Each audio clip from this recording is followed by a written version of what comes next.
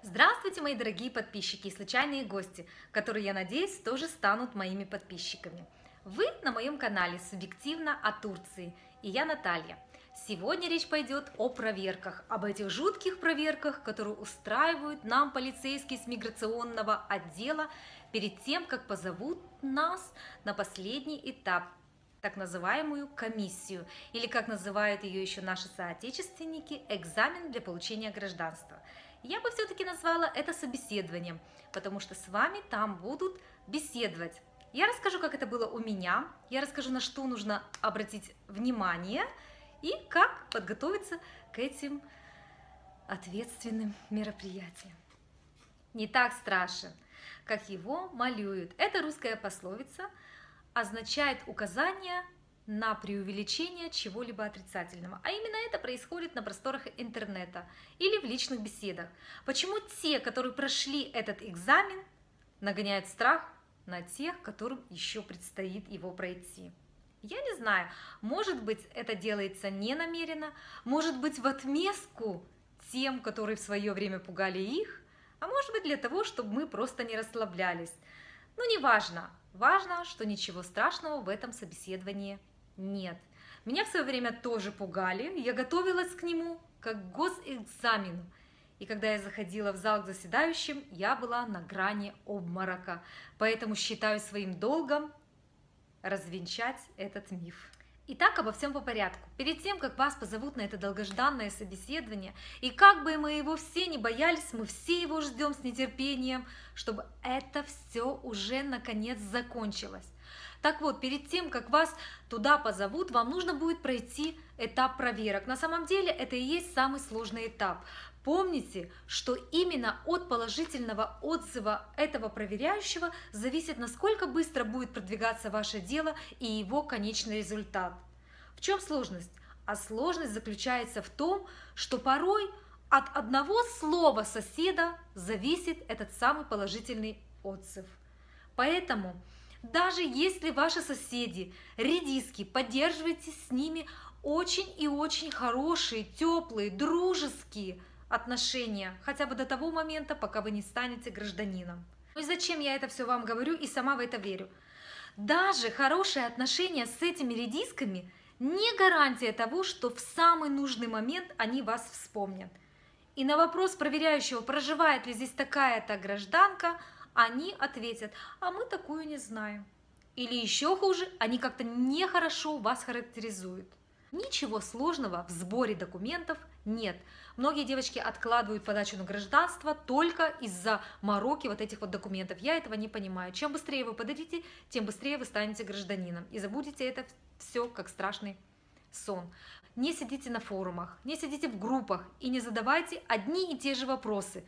Ну почему каждый должен отписываться о своем списке документов? Тем более, что этот список документов постоянно меняется. В Турции очень часто меняются законы. И списки тоже меняются. Поэтому идите, берите этот список, максимум из 10 пунктов, и подайте уже вы на это гражданство. На что хочу обратить ваше особое внимание. Все переводы делайте на территории Турции у присяжного переводчика. Некоторые переводят у себя на родине, так как перевод на родине намного дешевле, чем в Турции, особенно в Стамбуле. Приезжают сюда и каким-то образом умудряются заверить это у турецкого нотариуса. Скажу сразу, такой вариант не проходит, потому что принимающий внимательно следит, чтобы печать переводчика и печать нотариуса совпадали. И это были именно турецкий переводчик и нотариус. Поэтому тот вариант – с переводом на родине выкиньте из головы и помните, что все переводы документов вам нужно будет делать именно на турецкой стороне. И еще на что нужно обратить внимание. Переводы всех имен и фамилий ваших, ваших детей, ваших родителей должны везде совпадать. Буква в букву, точка в точку. Все абсолютно должно быть идентичным. Если ваши имена и фамилии очень сложные в транскрипции – не стесняйтесь, просите у переводчика переводить именно так, как вам нужно. Если в документах есть различия буквально в одной букве, в одной точке, документы возвращают, и вы теряете время. А порой чтобы исправить вот эту одну единственную буковку, приходится подавать в суд, а суды длятся годами. Поэтому с самого начала нахождения вашего Турецкой республике или в какой-либо другой стране обязательно и обязательно следите за тем, чтобы все ваши документы были одинаково переведены. Транскрипция – это одна большая головная боль всех иностранцев. Вы думаете, что транскрипция – это единственная головная боль? Еще большая головная боль – это свидетельство о рождении. Когда вы знаете, что приближается срок подачи на гражданство, возьмите у себя на родине дубликат своего свидетельства о рождении и апостилуйте его. Не думайте, что вы сможете поставить апостиль на территории Турции. Консульство, посольство этим не занимается. Поэтому обязательно и обязательно поставьте апостиль в стране, которая выдает свидетельство о рождении. Это очень важно. Почему я говорю, чтобы вы взяли дубликат? Потому что если вы поставите апостиль на оригинал, то этот оригинал вместе с этим апостилем у вас отберут. И вы думаете, что вы сможете его получить обратно? У меня не получилось. У многих тоже. Некоторые девочки вступают с ними в неравную схватку, в неравный бой. Они находят директоров, потом директоров директоров, они тычут им сводом законов, и в конце концов некоторым удается отстоять свой оригинальный документ. Но не у многих. Обязательно ставьте апостиль у себя на родине на дубликат вашего свидетельства о рождении. Еще один вопрос, который очень многих волнует. Надо ли переводить все документы на фамилию мужа или можно подать на своей на девичьи? Скажу сразу, в последнее время с этим не так строго. Очень многие девочки наши подают на гражданство на своей, на девичьей фамилии и получают. Но есть одно небольшое но. Я как-то пообщалась с одним из служащих, который непосредственно принимает документы, и он мне поверил такую историю.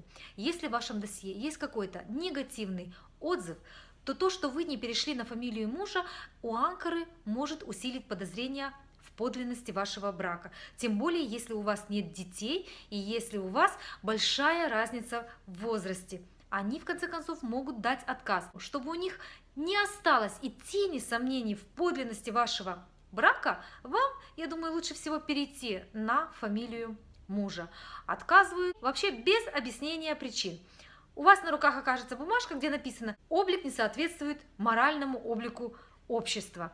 Или еще хуже, они могут написать, создает угрозу для общества. Прости Господи.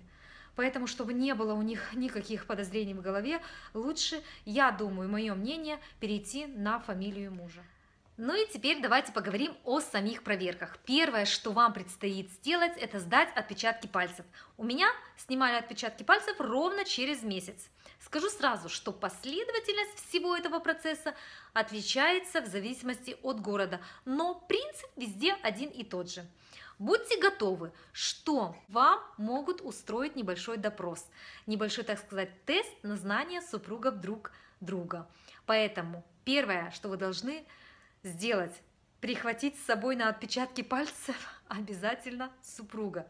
Второе, подготовиться самой, выучить все имена его родственников и подготовить мужа, чтобы он вспомнил все значимые даты. Иногда они забывают.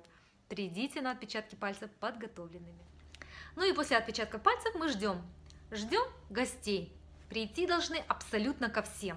Поэтому, если вы видите, что в течение двух месяцев к вам никто не заявился, обязательно бегите к ним. У них такое бывает. Папку могут потерять, папку могут куда-то не туда поставить и про вас забудут.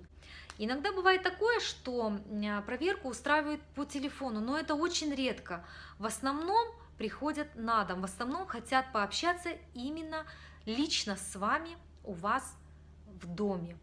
Здесь, если вас позовут э, на вот такой вот допрос, вопросы достаточно простые, что ели вчера, э, где были в последний раз, где отдыхаете, что любит супруг, э, что любите вы, какие фильмы смотрите, какие книги читаете. Абсолютно бытовые, простые вопросы, на которые ответить очень и очень легко. Но если вдруг ваши вопросы по каким-то причинам не совпадают. Тогда они требуют явиться на допрос родственникам, родителям, соседям. И о горе вам, если вы не дружите с ними. Всегда говорю, девочки, какой бы у вас ни был характер, пока вы не стали гражданином Турции, любите всех его родных, любите его родителей, дружите с соседями, дружите с продавцом в соседней лавке. Вы должны со всеми поддерживать хорошие отношения, потому что от них зависит положительное решение о присвоении вам гражданства. И, конечно, исход вашего дела зависит от вашего проверяющего. Создайте, обязательно создайте благоприятное впечатление о себе. Настройте его на такую эмоциональную волну, чтобы он хотел вам помочь. Просите его о помощи. Турки любят помогать, поэтому не стесняйтесь. Говорите, как вам важно получить это турецкое гражданство. И он вам обязательно поможет. Сломайте его, сломайте его психологически. Заставьте его на подсознательном уровне делать так, как нужно вам. Полностью ломай. Ломай меня полностью. Зачем? Я хочу, чтобы ты ломал меня. И когда желание, чтобы это все наконец закончилось, доходит до своего апогея, вы получаете смс для взятия даты на комиссию. Вы радуетесь и одновременно подступает страх. Но я в самом начале вам сказала, комиссия – это абсолютно безобидное собрание. Если в вашем досье о вас только положительные отзывы, то ваша комиссия продлится ровно 2-3 минуты. Оденьтесь на комиссию очень скромно и подобающе. Никаких э, вульгарных вещей, никакого красного лака, никакого яркого макияжа, аккуратно зачесанные волосы. Если вы не совсем хорошо владеете турецким языком, не стесняйтесь, попросите повторить вопрос. Комиссия настроена дружелюбно, все остальное в ваших руках.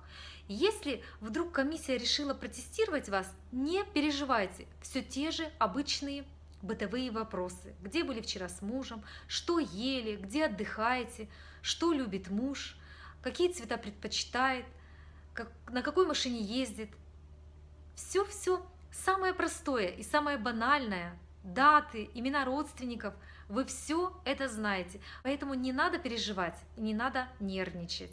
Контролируйте весь процесс всегда. Подготовьте и мужа к этой комиссии. Проштудируйте его по всем вашим значимым датам. Мужчины, они все путаются в датах.